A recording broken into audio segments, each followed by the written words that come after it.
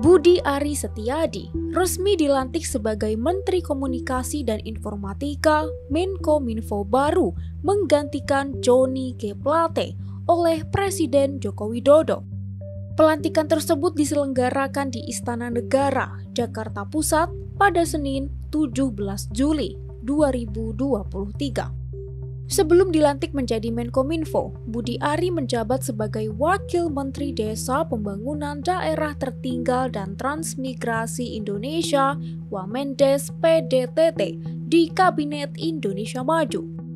Selain Menkominfo, beberapa menteri dan wakil menteri yang juga dilantik oleh Presiden Jokowi adalah Wakil Menteri Kominfo, Wamenkominfo, Nezar Patria, Wamendes PDTT, Profesor Paiman Raharjo, Wakil Menteri Luar Negeri Wamenlu Pahala Mansuri dan Wamen BUMN Rosan Ruslani.